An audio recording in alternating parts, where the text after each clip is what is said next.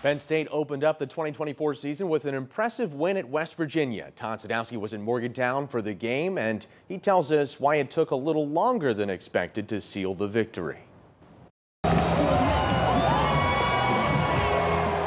A handful of local guys are key players in Saturday's game at Mountaineer Field, including York High's Jahiem White for the home team, Central York grad Beau Pribula, and Warwick's Nolan Rucci with the Nittany Lions. Big plays are a huge part of Penn State's offense in this one. Quarterback Drew Allar connects with Trey Wallace across the middle for the first touchdown of the game and of the season. The same two guys hook up on a score right before halftime to give PSU a 20 6 advantage at the break.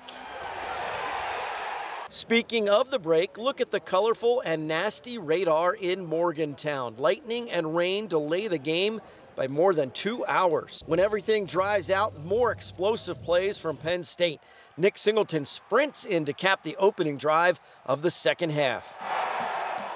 And then it's Pribula who hits senior Tyler Warren in stride for the final score of the game.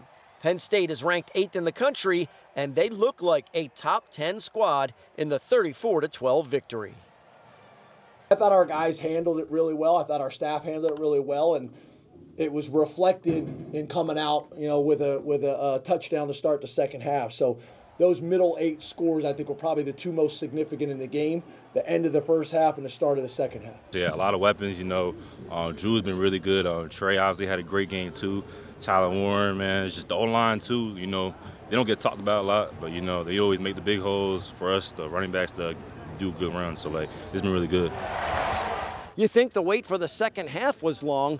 How about the next road game? The next time we see Penn State away from Beaver Stadium, mid October in the LA Coliseum against USC. With the 1 0 Nittany Lions on the road, Todd Sadowski, Fox 43.